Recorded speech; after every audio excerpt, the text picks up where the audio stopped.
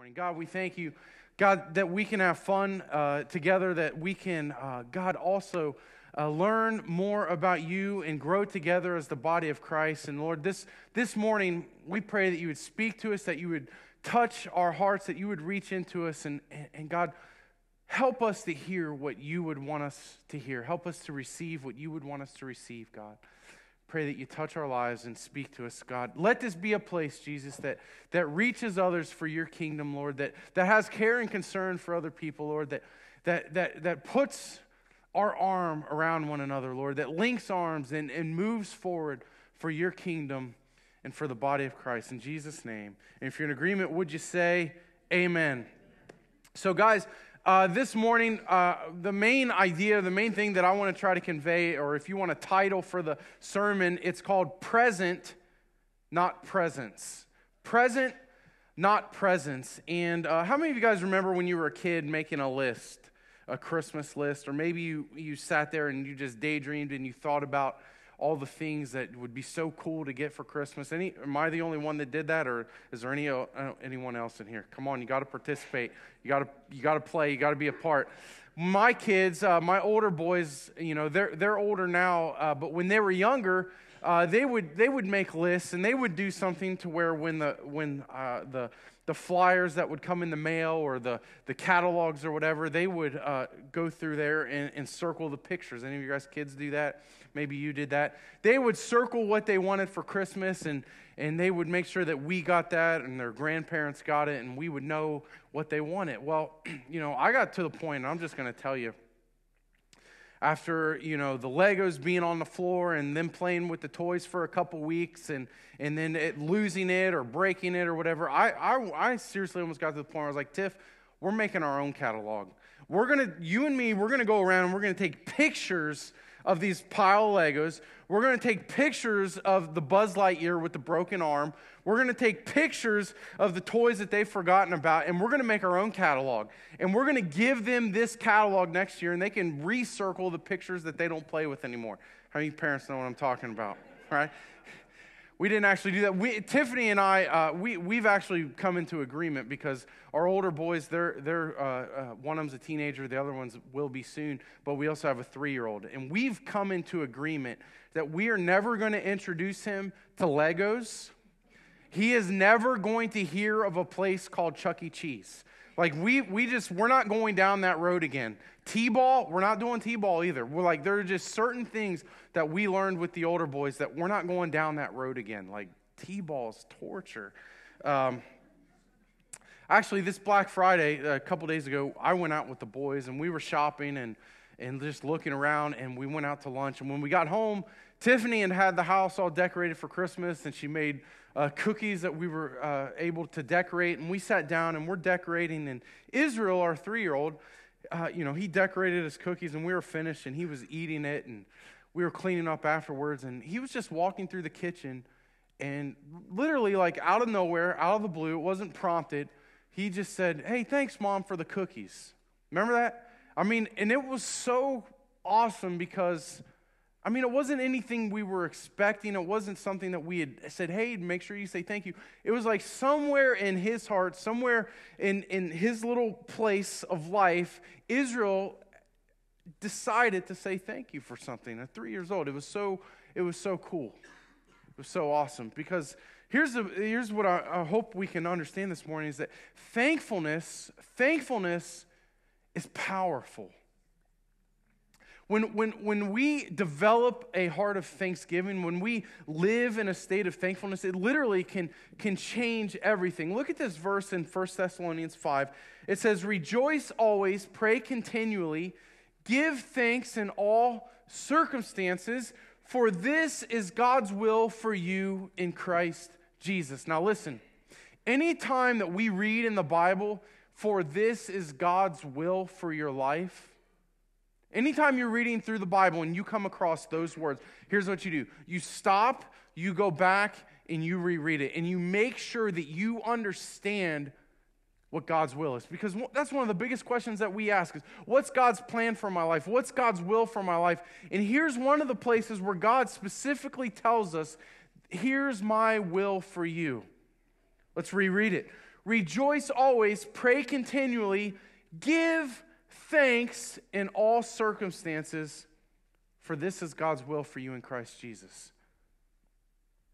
A thankful heart is it's God's desire. I mean, it, it brings pleasure to God. I mean, if any of you are, are parents or if you've, you've ever been thanked for anything that you've ever done, I mean, it feels good, right?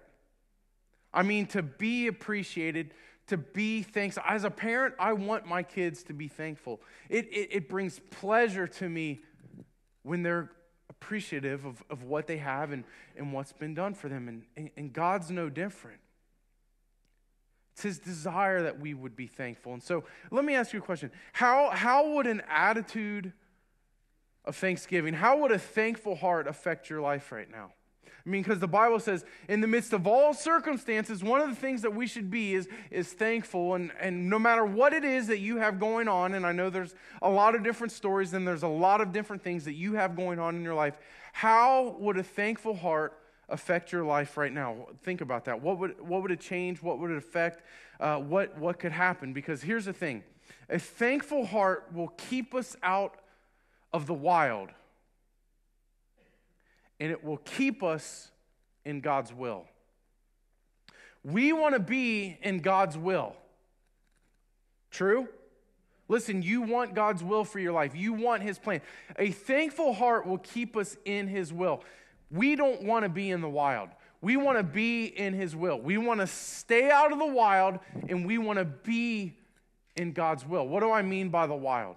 What, what, what's the wild? The wild is the misunderstanding that God is not enough.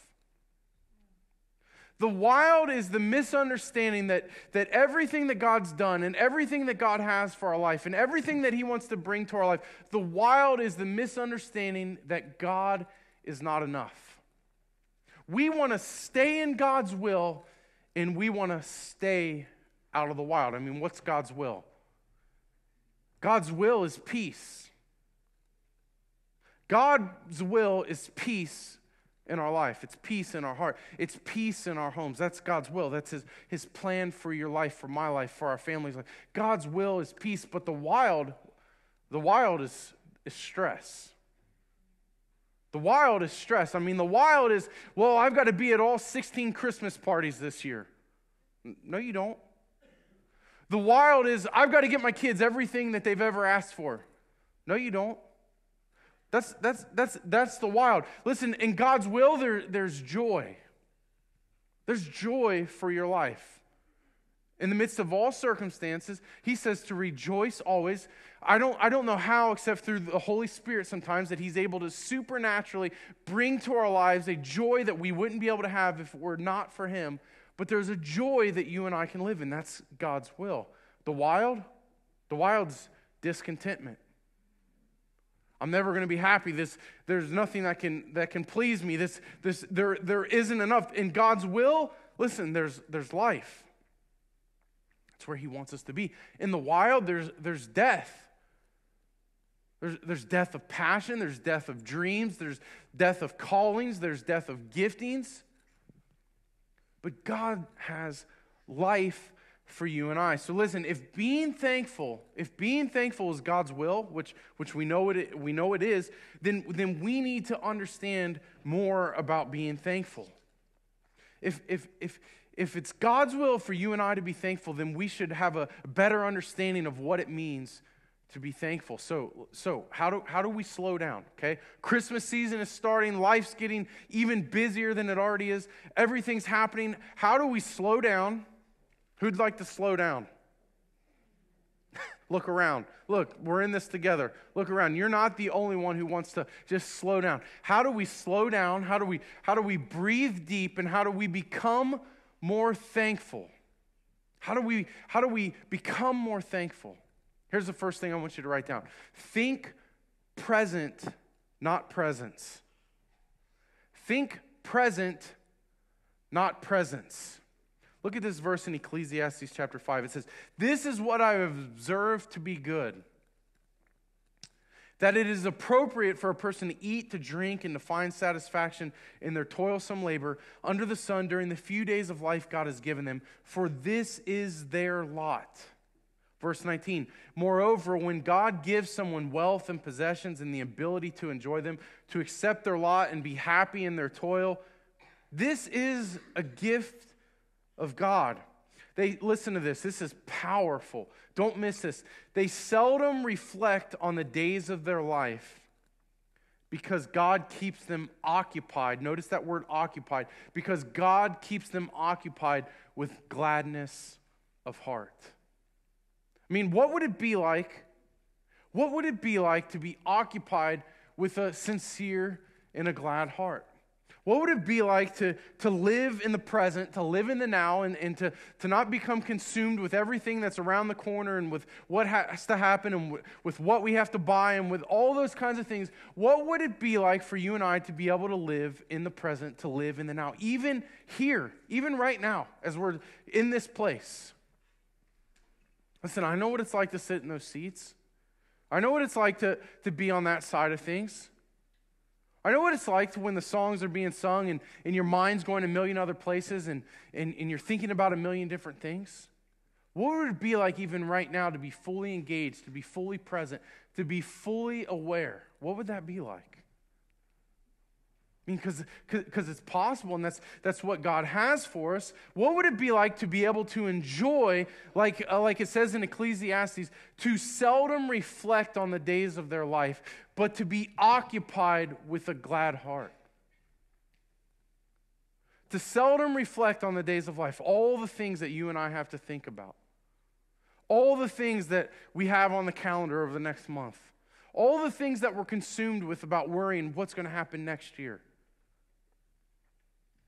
And Ecclesiastes is saying, listen, there's a way that we can live to, to where we can be present right here in the moment, appreciative and thankful for all that we have instead of being consumed with, with everything else that's going on. Listen, I, I listen, people, your family, your coworkers, the people around our lives, they need you and I to be present more than they need our presents.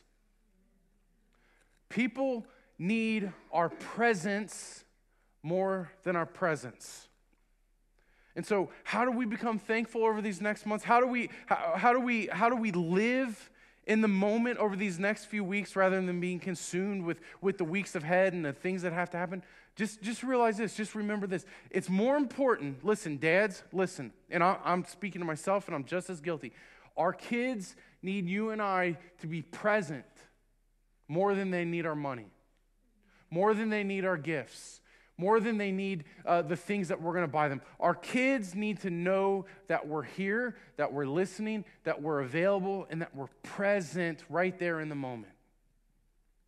That's what they need more than our presents. Now, listen, we're going to buy gifts in our home. We're going to buy presents. I love the giving in exchange of gifts, but more than that, listen, my family needs to know that I'm present that when we're sitting on the couch that i'm not just staring off into space thinking about all the other things that can, can fill and consume our minds besides them. Listen am i the only one or you guys know what i'm talking about? Listen they need us to be present. Listen, it's so easy as we're walking through the stores and going through our lives and, and, and, and to just walk right past the people that we uh, inter- encounter and interact with. And, and sometimes it's so easy because it's so obvious that, that they need help or that they're just looking for a little bit of encouragement.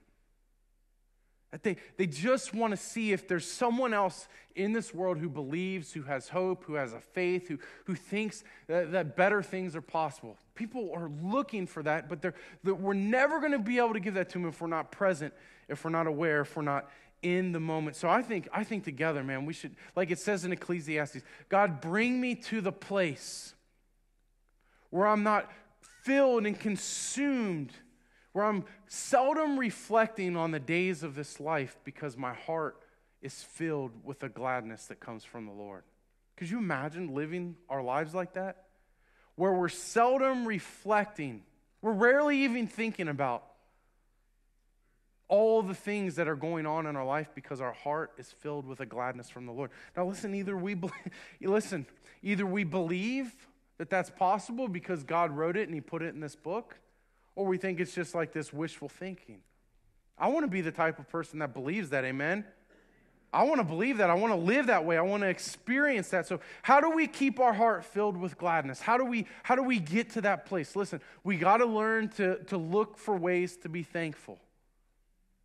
We got to learn to, to observe and, and, to, and to find ways to be thankful. Like maybe it's just as simple as someone opening the door for you. You know, uh, many of you, as you came in today, someone probably had a door open for you. If you came into this room right here, someone probably was holding the door open for you. Man, that's something that we can be thankful for. That's something that we can be thankful for. Maybe, maybe, maybe your spouse made you dinner. Maybe it's just any other dinner like every other night, or, eh, eh, but it's something that we can be thankful for. Maybe, maybe, maybe your kids rake the leaves. I don't know. This, this morning, it was so cool. Um, we had Christmas lights on on the outside of our house, and they were still on this morning. And uh, my oldest son, Eli, he said, Hey, the lights are still on. And uh, I said, Oh, well, we got to turn them off. They need to be turned off. And so we, were, we went outside to leave for church, and, and the lights were turned off. I thought that was so cool. Like, I didn't ask him to do that. He just took the initiative. He turned the lights off. I was, I was like, wow, man, that, that is something to be thankful for. Thank you for doing that. It's so awesome. Listen, kids, may, maybe, maybe your parents, they buy you clothes. Your parents buy you clothes. They, they take you to practice. They give you gas money.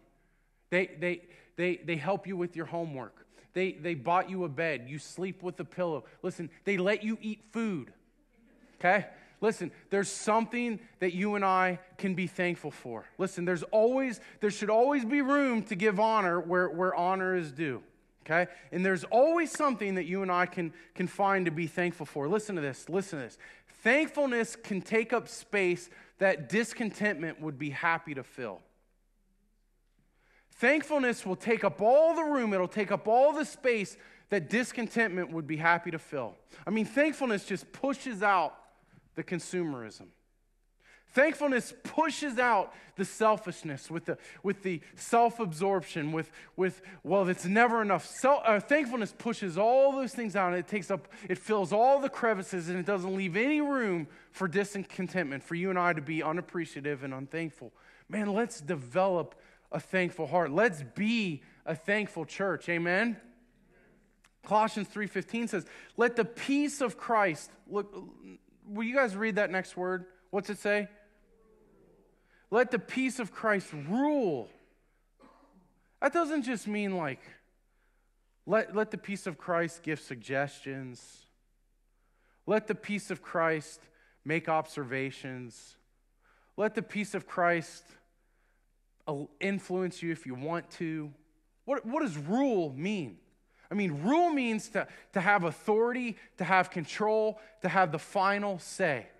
Let the peace of Christ have the final say. Let the peace of Christ control. Let the peace of Christ completely influence your hearts. Since, as members, as one body, you were called to peace. And look at these last three words and be thankful. There's, there's a direct correlation between, between thankfulness, being thankful, and living a peaceful life. Listen, you want to you want to live these next few weeks, you want to live next year full of stress, full of worry, full of full of fear, full of all the things that, that are contrary to peace. Don't develop a thankful heart. But if, if we can become thankful, if we can become just appreciative and aware of all the things that, that others have done for us and what God has done for us, man, I'm telling you, there is a correlation, there is a direct connect between thankfulness and peace. Thankfulness paves the road to a heart that's filled with peace. You guys okay? Here's the second thing so, how, how do we become uh, more aware? How do we live in the moment? How do we become more thankful people? The first thing is think present, not presents. Listen, it's more important for you and I to be here in the moment than, than all the other things that, that this season uh, brings along with it. Here's the second thing think grace, not pace. I think this one, I think, I think we need to, to be receptive to this. Think grace, not pace. I mean, is there someone that you're trying to impress? Is there, is there anyone that, that you're trying to impress? Is there anyone that, that you feel like, you know what, I've got to keep up with them? Can you just look at your name and say, I don't have to impress you? Come on, look at him say, I don't have to impress you. Man, don't even act like that doesn't feel good. You know that feels good. I don't have to impress you. It's true. Listen, you don't have to keep up with your brother in law who buys their kids everything that they've ever wanted. You don't have to keep pace with them. Listen, you don't have to keep pace with that neighbor who puts up a million Christmas lights and then who puts it to music and then somehow he engineers the lights to, to be choreographed with the music and it's all going. You don't have to keep pace with that person. How many can say, thank God to that? Now, I love it and I'm going to go watch it, but I don't want to be the guy that has to do it. You don't have to keep pace with all the Christmas parties and, and oh my goodness, they, they're sending out Christmas cards and I haven't sent out Christmas cards and they're, they're sharing cookies with each other and I haven't even baked any. Listen, you don't have to keep pace with all that stuff. You don't have to keep pace with that. I want us to watch this uh, clip from The Grinch Who uh, Stole Christmas because uh, Cindy Lou, uh, this clip, she asks a very interesting question. I think she asked a great question. So, guys, watch this with me as, as they put it on the screen. Christmas. Thank you for shopping Carmichael's. Thank you. We've got a snoozlephone for your brother Drew, and a snoozlephone for your brother Stu, a munkle for your uncle, a fan for your aunt, and a fanpa for your cousin Leon. So we just need Cindy. Cindy Lou. Merry Christmas. Cindy, oh, hello, Merry, Merry, Merry Christmas. Merry Christmas, Fred. Oh, Excuse oh, me. Lou. Cindy Lou, honey. Dad? Yeah? Doesn't this seem like a bit much? This is what Christmas is all about. Can't you feel it? Streets are filled with Christmas cheer. Boy, nothing beats Christmas, right? I guess. I guess. well, it's just I look around at you and Mom and everyone getting all kerbobbled. Doesn't this seem superfluous? Doesn't this seem like a bit much? I mean, when you think about all the things, man, that, that we get so consumed with, listen, we don't, we don't have to keep pace. Think, think grace. What is the grace that God has allowed you to experience? Think grace, not pace.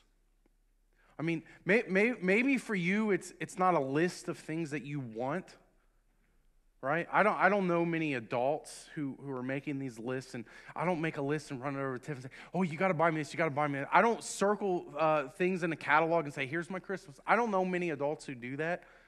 Maybe you do, and listen, I'm going to extend grace towards you. I'm sure, right? We, we, we do have things that we want, but I don't know many adults who, who are filled with making these lists. But uh, listen, I do know what it's like. I know what it's like to, to maybe have a list of people that you feel like that you've got to keep pace with.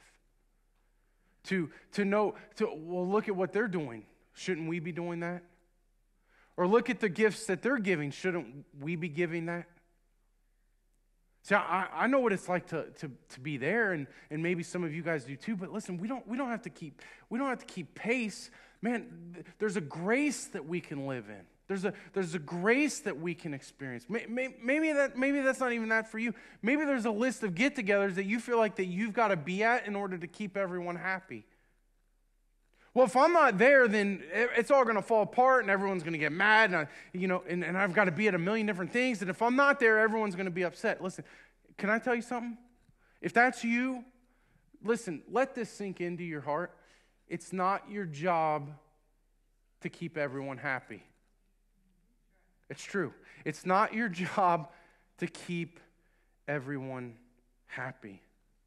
You know, uh, maybe, maybe this season isn't a time of like joy and, and just refreshing for you. Maybe it's just a time where you got to grin and bear it, like just get through it. We were, I was talking with a friend this past week, and they had just had a conversation with someone, and they said, and it, it's, it was like, it's not even December yet. They said, I just can't wait till January.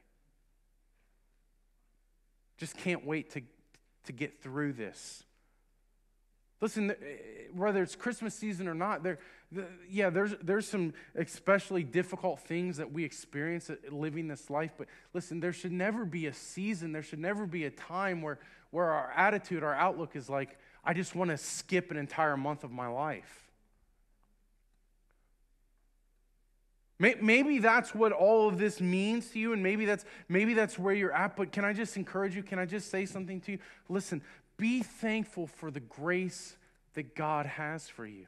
Allow that grace to begin to fill your life. Instead of feeling like you've got to keep pace, like as soon as Friday hits, it's like this gun shoots off and you're at the starting line, you just got to go. And you're sprinting as hard as you can for this next month or for whatever it is that you have going on. Listen, you don't, you don't have to keep pace.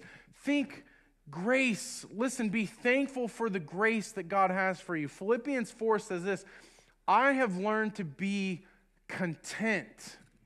I have learned to be content whatever the circumstances. I know what it is to be in need and I know what it is to have plenty. I've learned the secret of being content in any and every situation, whether well fed or hungry, whether living in plenty or in want. I can do all things through him who gives me strength. God, give us strength. Listen, contentment is not, it's not possessions. Content, that's not what it means. Paul's saying that. Contentment's not possessions, contentment is, is perspective. Contentment is, is living with this attitude, with, with a conviction. With a conviction, a deep seated, heartfelt, unshakable belief that, that God's going to provide, that everything that He's granted unto you is, is more than enough. That, that's contentment. Listen, may, may, maybe there's something around the corner that you're, you're concerned. God, that you're, you're a God who's able to, to meet all my needs according to your riches and glory in Christ Jesus. That, listen, that the righteous are never forsaken, nor their seed begging for bread. See, that's contentment. Living with this belief that, uh, not just a, a conviction that God is going to meet your needs every single time.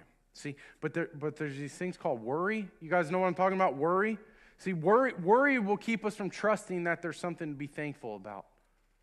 Right? Well, if this doesn't happen, if this does happen, then, then that means this and this and this and this and this, and our minds go and go and go. And instead of being filled with thankfulness in the moment, our minds are consumed with worry. And worry will keep us from, from trusting that there's something to be thankful about. Or, or maybe it's greed. Maybe, it, maybe you do feel like you got to keep pace and you got to keep up and you got to meet all these needs and you got to you got to give what everyone else is giving and doing what everyone else is doing. Listen, that, that greed Greed will keep you from, from believing that there's something to be thankful for.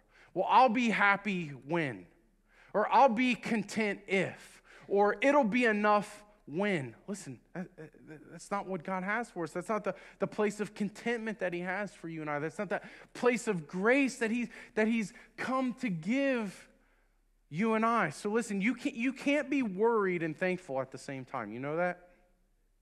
You can't be greedy and thankful at the same time. So listen, we've got a choice. The space in our life is either going to be consumed with, with, with, with, with appreciation or it's going to be filled with the enemies of thankfulness. The space in our heart right now, the space in our mind right now, it's either going to be filled with, with the enemies of thankfulness or, or with a glad and sincere heart. Instead of being consumed with, with the, all the things that go on in our daily life, God says, well, wait, wait, wait a second. There's a place that you can live in where, where you're experiencing a gladness of heart that only comes from me. And here's the last point, guys. Think reasons, not seasons. How do we how do we develop this thankful heart? How do we live and fully experience all that God has for us, not just over this next 30 days, but in our life? Think reasons, not seasons. Think reasons, not seasons. Listen, seasons change. Listen, fall's coming to an end. Summer's going to pass, spring's going to pass, this winter's going to be over soon. Listen, seasons change. Christmas is going to come and go. Christmas is going to come and go. It's going to be here before we know it. And then it's, the next day, you're going to wake up and you're going to pack up all the Christmas decorations. You're going to put them away back in the basement. That's what we do. As soon as Christmas is over, uh, the next day, we, man, we, we, we clean out the place and we pack it all up and we put it away. It's over. It's come and it's gone. I mean, do you, do you think that Jesus really just came to this earth uh, for us to develop uh, some compassion and generosity for a few weeks out of the year? I mean, if we live our lives according to seasons rather than reasons, we're, we're constantly going to be swayed based upon circumstance and based upon what's happening. So if we want to live in a state of thankfulness, if we want, if we want to see people's lives around us impacted, listen, we, we've got to think reason and not seasons. That, that the investments that we make aren't just about uh, right now, here, this moment, but man, what could happen if this seed's planted? What could happen a year from now? What could happen a few months from now? Listen, seasons change. And, and right now, it, it, it may be incredible for you. This might be the happiest time of your life. Or this, this might be the most difficult time of your life. You might be uh, in the midst of just total difficulty. But I want to tell you something. Whichever one it is, either way, it, it's thankfulness that'll carry you through this season. It's a, it's a thankful heart that's gonna, that's gonna carry you through this season. I mean, you can, like, like that person said, I just can't wait till January. I mean, you can, you can just grit down and, and, and get through whatever it is that you're having to get through. But man, what if, what if we could live in that place where we're not consumed with, with the days of our lives, but where we're, we're living with a, with a glad and sincere heart that, that comes from the Lord. Listen, seasons change. Seasons change, but God never does. He's, he's the same yesterday, today, and forever. And so the grace, listen, maybe there's a time where you experienced His grace. Maybe it's been a long time where you've experienced that grace. Listen, if that's you, if you need to experience His grace just by the power of His Holy Spirit, I just pray that right now that grace would begin to fill your heart, even right where you're at. God, fill our lives with your grace and with your compassion, with your mercy, with your, with your peace. I mean, think reasons, not seasons. I mean, do you ever just slow down and stop and ask, like, why? Why, why, why, why all this? Like, why am I doing all this? Why am I, even right now, maybe, maybe you, your alarm clock went off and it's just Sunday and just going to church is what you do. But, but why? Why are you here? Is it possible that, that God brought you here this morning because there's something? Listen, you've heard it a million times. You've been in church.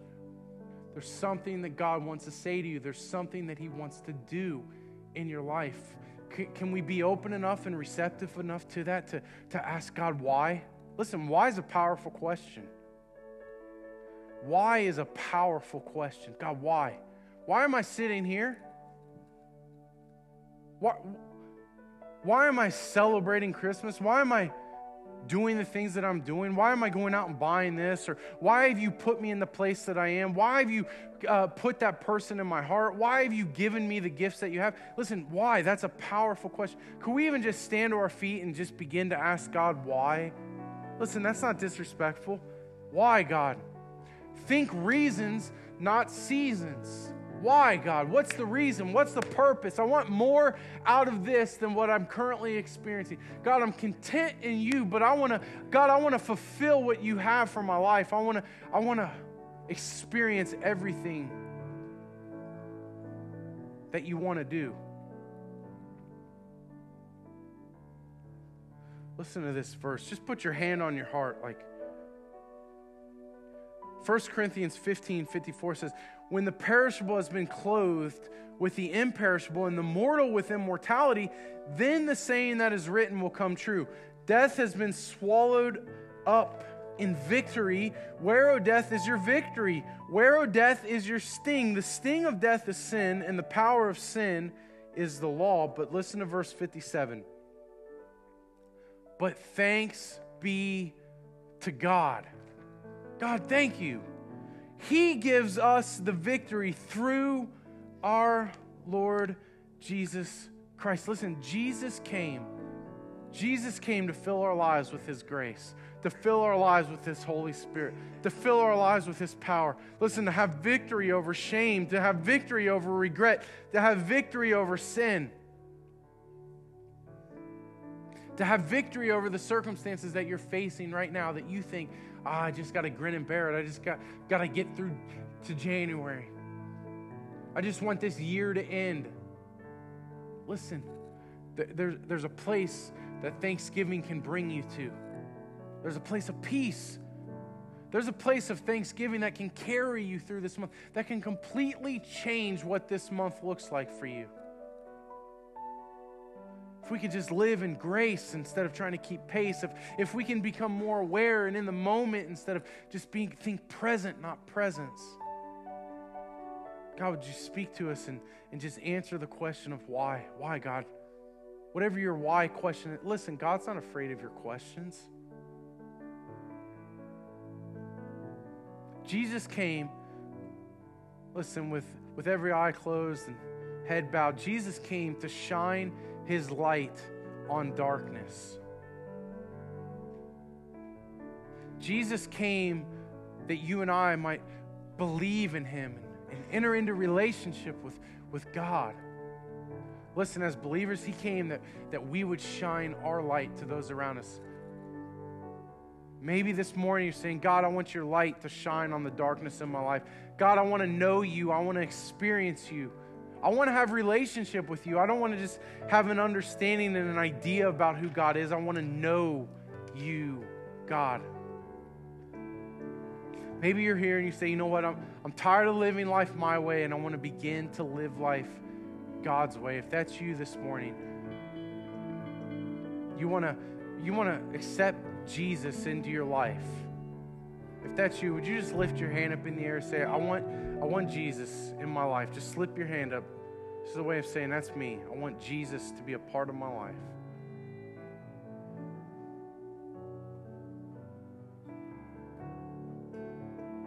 Just lift it up.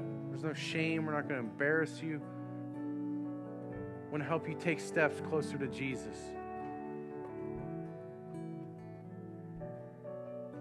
Let's pray this prayer together, church. Dear Jesus, I'm coming to you today, and I want to give you my life. I want to give you my heart. I want to know you. I ask you to forgive me of my sins and fill my life with your grace. Fill my life with your peace. I want to fulfill your purpose on this earth. In Jesus' name.